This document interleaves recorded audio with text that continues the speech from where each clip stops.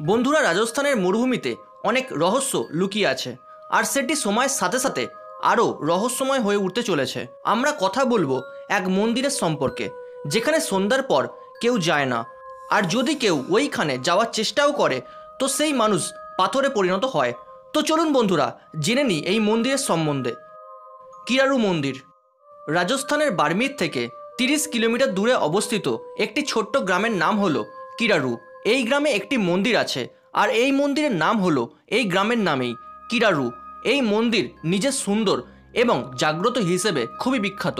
এর সাথে সাথেই একটি খুবই সুন্দর ট্যুরিস্ট স্পটও কিন্তু এই মন্দিরে সন্ধ্যার পর কেউ যায় না, কারণ যে এখানে সন্ধ্যার পর আসে, সে হয়তো পাথরে পরিণত হয় অথবা মৃত্যুর পথে পা দেয়।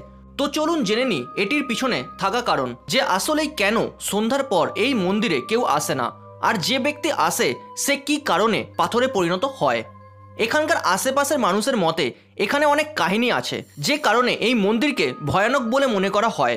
এই কাহিনী শুরু করার আগে আপনাকে একটি রহস্যময় কথা বলে দিই, যেটি এই ঘটনার জন্য একটি প্রধান কারণ হিসেবে ধরা হয়। যেটি হলো কিরারু থেকে কিছু দূরে অবস্থিত সিহানি গ্রামে, সেখানে একটি পাথর আছে, যেটিকে মূর্তি বলে মনে করা হয়। আর এটি সেই মূর্তি যে কিরারু গ্রামের লোকেদের পাথরে পরিণত হতে দেখেছে। চলুন জেনে নিই এই মূর্তির আসল রহস্য।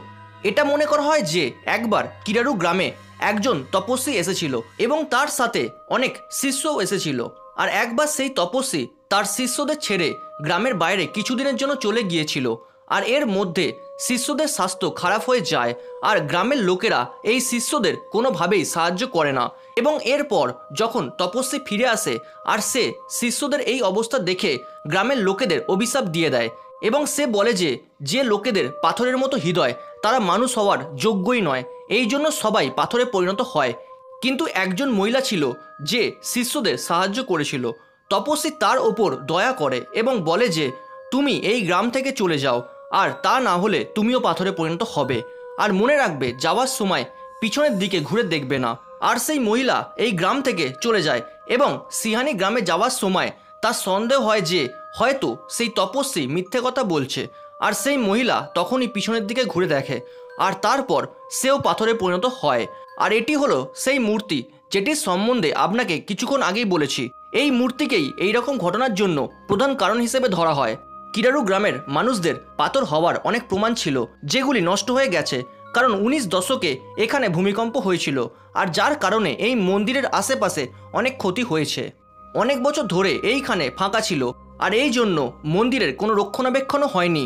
এই মন্দির নিজের কাহিনী এবং জাগ্রত হওয়ার জন্য অনেক বিখ্যাত হয়েছে। এই জন্য এখানে অনেক প্যারানর্মাল ইনভেস্টিগেশনও হয়েছে, যেগুলি সম্পর্কে আপনাকে বলব।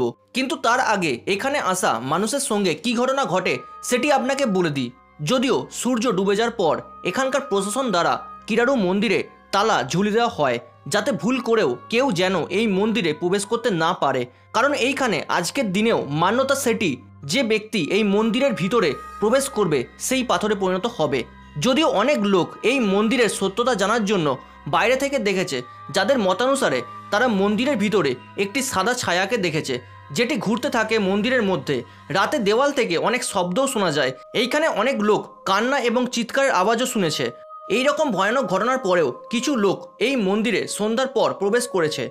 আর যখন তারা মন্দির থেকে বেরিয়ে এসেছে, তখন তারা গ্রামের লোকেদের জানায় যে, পুরো মন্দিরে এমনটা মনে হয় যে, আপনি কখনোই একা নয়। আপনার সঙ্গে অন্য কেউ আছে যে আপনাকে অনুসরণ করছে। আর এই অনুসরণ করতে থাকা একজন অথবা দুজন নয়, অনেক লোকের ছায়া। সাথে সাথে এইখানে চুপিসারে কিছু শব্দও শুনতে পারবেন। সাথে মন্দিরের এক প্রান্তে গেলে এমনটা মনে হবে যেন সেখানে পুরো গ্রাম বসে আছে। গ্রামের লোকেদের কথা অনুসারে এই এক একটি পাথর অন্য কেউ না, বরং সেই গ্রামের লোকেরাই, যারা সেই অভিশাপের শিকার হয়েছে আর তারা এখানেই আটকে রয়েছে। আর সেই জন্য তাদের আত্মা আজও এখানে ঘোরে। দিন শেষ হতেই এখানে নেগেটিভ এনার্জি ঘিরে নেয়। আর এখানে আসা ব্যক্তিকে নিজের শক্তিতে পাথরে পরিণত করে দেয়। চলুন আমরা এখন কথা বলি প্যারানর্মাল ইনভেস্টিগেটর এখানে কি দেখেছে? তারাও কি পাথরে পরিণত হয়েছে? কারণ তারা নিজেদের টিমের সাথে এইখানে পুরো রাত উপস্থিত ছিল। যেখানে নিউজ এইটিনের টিম আর তাদের সাথে একজন প্যারানর্মাল ইনভেস্টিগেটর নিজেদের ইকুইপমেন্টের সাথে এইখানে অনেক পরীক্ষা করেছে। যার মাধ্যমে এইখানে কিছু আছে নাকি নেই সেটি জানা যায়। তারা এইখানে অনেক জায়গায় ইএমএফ রিডার ব্যবহার করেছে, যেখানে তাদের ইএমএফ রিডারের লাইট অনেকবার ব্লিঙ্ক হয়েছে। সাথে সাথেই এইরকম অনেক জায়গায় ইএমএফ রিডারের লাইট কনস্ট্যান্ট জ্বলতেই থাকে। ইএমএফ রিডার মানে ইলেকট্রোম্যাগনেটিক ফিল্ড রিডার সাধারণত নেগেটিভ এনার্জিস ইলেকট্রোম্যাগনেটিক ফিল্ডের মাধ্যমে কমিউনিকেট করে। গ্রামের লোকেদের মতে এই মন্দিরের অনেক জায়গাতেই নেগেটিভ এনার্জির উপস্থিতি অনুভব করা যায়। এই জন্য একটি ছোট এক্সপেরিমেন্ট একটি কোণে করা হয়েছিল এমন একটি কোণ ইনভেস্টিগেটর টিম পছন্দ করেছিল যেখানে কোনো হাওয়া ছিল না আর সেখানে সাত থেকে আটটি ছোট বেলুনকে রাখা হয়েছিল সেই বেলুনগুলিকে হাওয়া ভরে রাখা হয়েছিল আর সাথে নেগেটিভ এনার্জিকে খোলাখুলি চ্যালেঞ্জ করা হয়েছিল যে যদি ওই মন্দিরে কেউ তাদের আশেপাশে থাকে তো সেই বেলুনকে সরিয়ে দেখাক ये अज्ञात शक्तियों को इस मंदिर के बारे में जितना भी सुना है हमने तो छोटे छोटे गुब्बारे रखे हैं उनको हिला के दिखाइए एक बार जोर से सारे गुब्बारे अलग हो जाए এই রকম ভাবে তিন চারবার চ্যালেঞ্জ করা হয়েছিল আর তখনই হঠাৎ বেলুনগুলি আগের জায়গা থেকে সরে যায় আর একটি একটি করে প্রতিটি বেলুন হাওয়ার চাপে এগিয়ে যায় মনে করুন যেন সেই গুলিকে কেউ সরিয়ে দিয়েছে এখানে যা কিছু হচ্ছিল সেটা সবারই ধারণার বাইরে ছিল আর অনেক ভয়ানকও ছিল कई जगह कई जगह ऐसी देखी पाई गई है हमने पहले भी ऐसा किया है कि मशीन्स जो हैं वो फेल हो जाती हैं तो ऐसे छोटे छोटे जो प्रयोग हैं पराविज्ञान के वो काम आते हैं क्योंकि इससे भी पता लगता है कि कुछ कोई मौजूदगी किसी शक्ति की यहाँ पर हो सकती है जो इन गुब्बारों को डिसलोकेट कर এরপরে তো আরও অনেক কিছু হওয়া বাকি ছিল হঠাৎই ক্যামেরা টিমের একজন মেম্বার খুব জোরে চিৎকার করে ইনভেস্টিগেটরের কাছে আসে সে খুব জোরে চিৎকার করতে থাকে এবং অনেক ভয় পেয়ে যায় क्या है ए, क्या हुआ क्या हुआ कोई कोई कौन সে পুরোপুরিভাবে কাঁপছিল এবং তার কথা অনুসারে একটি সাদা ছায়া সে মন্দিরের এক কোণে দেখেছিল पानी लाके दो यार पानी है नहीं कुछ नहीं है सर था सर कुछ नहीं है अरे अंधेरे में धोखा हो जाता है कोई बात नहीं कोई बात कुछ नहीं है यहाँ पे। तुम्हारे सामने तो देख रहे हैं नहीं। अंधेरे में धोखा हो जाता है वो मैं लाइट लगाने आया तो सामने मैंने देखा कोई कोई, कोई है। तो मैं कहाँ है? कोई भी नहीं है बेटा। कोई नहीं है यहाँ पर। सब लोग हैं ना देख। जुबेर यहाँ पर कुछ नहीं है।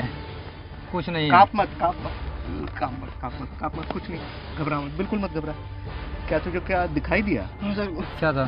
कोई था कोई था यहाँ पे। मतलब क्या कैसा था मतलब वाइट वाइट कुछ था यहाँ पे ना में कभी मतलब मैं रात में लगाने आया तो कोई তাদের সঙ্গে অনেক ভয়ানক ঘটনা ঘটতে থাকে এবং তারা এই ইনভেস্টিগেশনকে আর এগিয়ে নিয়ে যেতে চায় না। এই জন্য টিম তাদের ইনভেস্টিগেশন সেইখানে থামিয়ে দেয় এবং তারা সেইখান থেকে চলে যায়। আর তারা যেতে যেতে অনেক প্রশ্ন রেখে যায়, যেমন ইএমএফ রিডারের লাইট ব্লিঙ্ক হওয়া বেলুন চ্যালেঞ্জ করার পর সরে যাওয়া, তৃতীয় নম্বর হলো এই ব্যক্তি কাউকে দেখার দাবি করা। বন্ধুরা, আপনার কি মনে হয়, কিরারু মন্দিরে যে প্রবেশ করে সে কি সত্যি পাথরে পরিণত হয়, নাকি সেটি শুধুই অন্ধবিশ্বাস? আপনার মতামত কমেন্ট বক্সে অবশ্যই জানাবেন। আর বন্ধুরা, ভারতের আরও একটি ভয়ানক জায়গা, ভানগড় নিয়ে এই চ্যানেলে একটি ভিডিও আছে। ভিডিওটি অবশ্যই দেখে আসবেন, কারণ ওই ভিডিওতে সায়েন্টিফিক ব্যাখ্যার মাধ্যমে বলা হয়েছে, ভানগড় কি সত্যি ভূতুরে জায়গা নাকি নয়। আর ভিডিওটিকে লাইক এবং শেয়ার করে অন্যদের দেখার সুযোগ করে দেবেন, আর চ্যানেলটিকে সাবস্ক্রাইব করে পাশে থাকা বেল আইকনটি প্রেস করে দিন। এইরকম ইন্টারেস্টিং ভিডিও সবার আগে দেখার জন্য। সবচেয়ে thanks for watching stay happy stay safe